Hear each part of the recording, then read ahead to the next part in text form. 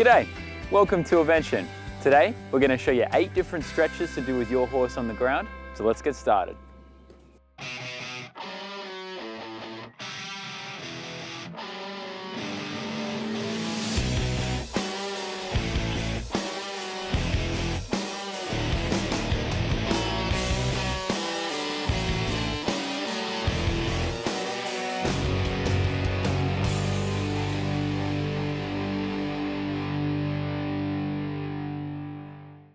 So just like human athletes, our equine friends need help getting ready for a hard workout. There's two main reasons for stretching. The first one is to help prevent injury prior to a tough workout. So basically we're just getting the muscles prepared for the work that's about to come. The second reason is to help improve the range of movement and flexibility of a particular muscle or joint. So this can be useful for a horse that's coming back from an injury or has been out of work for a while and getting ready to come back into a regular routine. Now with that being said, it's also quite easy to aggravate an injury. So before you do any stretches with your horse, I advise that you consult either with your vet or equine professional to make sure that your horse is getting helped and not hindered by your stretching. So let's get started. All right guys, so our first stretch is pretty common one that you've probably seen before, especially when you've done the girth up on the saddle and we wanna make sure that the skin doesn't pinch up at the girth. But this is also a useful one just to help him have a, a good stretch over his back. And this is just a front leg stretch. So be careful with your horses. I mean, I know this horse, he's very safe and I know he's not gonna do anything because we stretch him almost every day. But if you've got a horse that's a little bit more unpredictable, obviously don't stand in a situation that you could get yourself hurt. And what we're gonna do is just grab him right by the pastern here and just ever so gently and then if he wants to sort of pull it back there, you don't, don't keep forcing it. Wait until he kind of wants to stretch it. There you go. Oh, there you go. Good boy. And then just place it back down.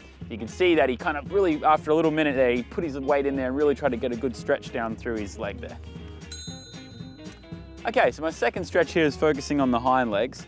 Obviously with the back legs, be careful that you don't put yourself in a position where you can get kicked. So we're gonna just gently pick up this foot here holding under the pastern is just slowly bring the leg forward and up a little bit. And you don't want to wrench this too high, but just enough that if you kind of push his weight against it, you can feel him stretch it a little bit. And then, being careful, take it out the back. And just, sometimes they can get a bit kicky with this one as they try to try and get their leg free. So Bellamy sometimes likes to really stick his leg out behind him and have a big stretch. He may not do this one every day, but sometimes he likes that one too, but depending on the horse. All right, let's head to a Schrammo shout out.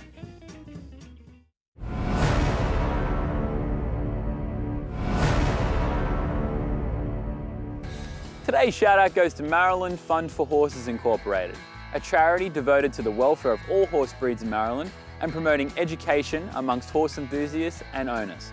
They also publish this free responsible horse ownership pamphlet that's available in public libraries, feed and tack stores.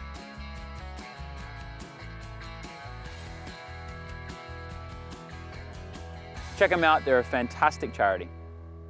All right, welcome back. On to the next three stretches. These are the carrot stretches. Most of you guys know them. You can either use a carrot or a treat, whatever your horse prefers. So we're gonna start with number three, which is just gonna be stretching the neck. And the whole point of this is for the horse not to move its body. Here, Bess. And what you wanna do is make him stretch back as far as he can. Bellis is actually quite flexible. Reach all the way back here to his hip.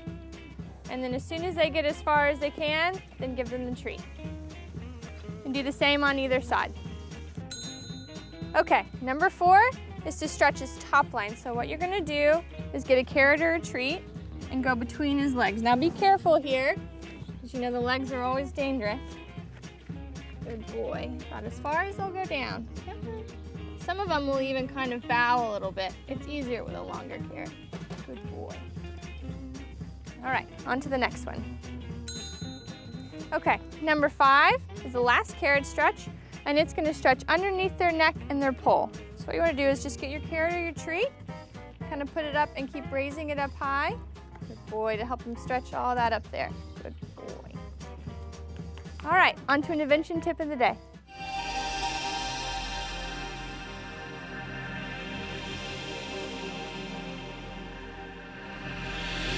Hey guys, my Evention tip for the day is the use of a bib.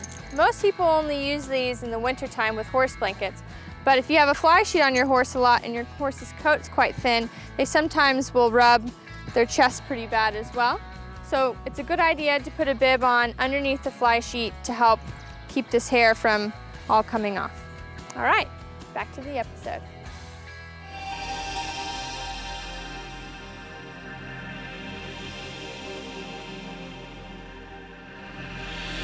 Welcome back guys. We've got a couple more stretches to show you. These ones are going to focus more on the horse's back and croup area.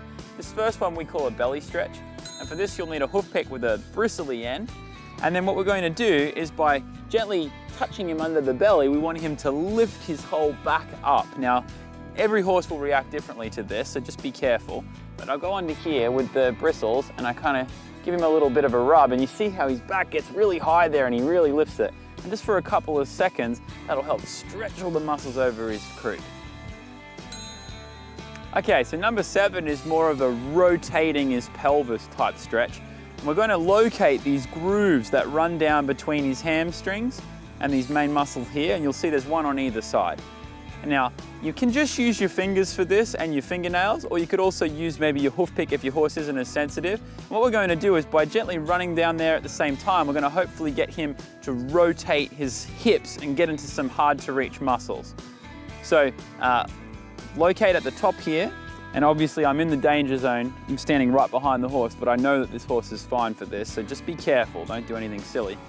We're going to gently just run off, put a little bit of pressure, oh yeah, and then just gently and see how he rotates his back up like that. And that helps get to some really hard to reach muscles up here. Okay, so our last stretch is focusing entirely on the SI joint, which is up here. And this was shown to us by our good friend and vet, Dr. Keelan Redmond. Okay, I did have to sweet talk Bellamy into showing his derriere to millions of people, but he's agreed to it as this is his favorite stretch. So what we're gonna do is we locate his the, the point of his buttocks, which is about here, and then if we lift his tail without making Bellamy blush too much, if you use the fleshy part of your thumb, you kind of, right in the inside of the muscle, you can find there's like a little hook there. And if you just gently lean into that, and he'll, he'll just hopefully push back. And you can't really see it, but if I was to release the pressure, he's really leaning against my arm. You can see how much when I let go, that he really likes uh, leaning there and you can do that both sides. Same thing on this side, just find that, locate that little hook and kind of push into the fleshy part of the muscle and just let him do the leaning. And this is a really great one. Bellamy can push so hard that he almost falls over. All right guys, hopefully you pick something up with these stretches and your horse is gonna be looser and limber. Lim See you next week.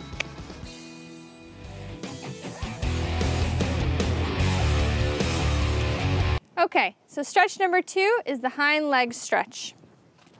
Now you want to be careful here because you're kind of in the, in the kick zone. So sometimes when they're stretching out, they can kind of kick at you. So just be real careful when you pick up the hind leg.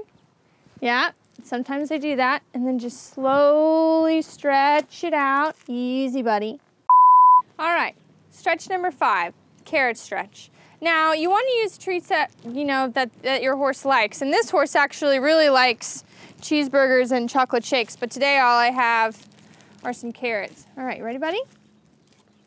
So you want to just get him to reach back. Come on, reach for that carrot. Try again. Ah, good job. Good boy.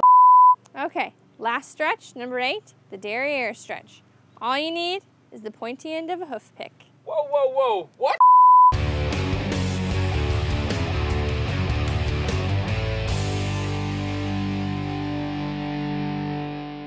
First thing in the morning when you first go to get on them, they really like that one. All right, let's head to a Schrammo's tip of the day.